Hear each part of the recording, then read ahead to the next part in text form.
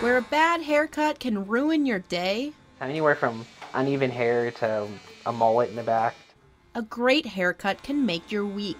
helps me prepare for my day and feel a little bit more confident about who I am and like what I'm going to do with my day. I feel like haircuts are an easy way to gain confidence or add confidence to somebody who doesn't have a, or have a haircut, have the haircut that they want or done in the correct way. So it's no surprise the role haircuts play in affirming a person's gender identity.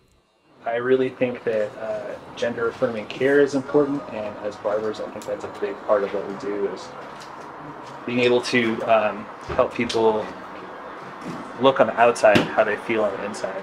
Compass Barbershop in Missoula is offering free gender affirming haircuts to LGBTQ plus members. Yeah, I was trying to figure out a way to make our services available to like our wider community, you know. A community that Compass loves to support. Now more than ever, we need to support our people in the LGBT commu- community and make them feel like they're welcome in Montana. I appreciate the fact that they support the LGBTQT community and I feel like they've always had our back.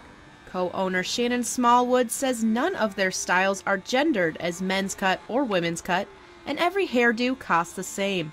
You know, a short haircut, a long haircut, whatever it might be, like you walk out of here hopefully feeling more yourself. Haircut vouchers can be picked up at the LGBTQ plus community center. Compass is accepting donations to fund these haircuts and will match each donation given. Really? Folks can donate directly at Compass or through the center. In Missoula, Claire Peterson, MTN News.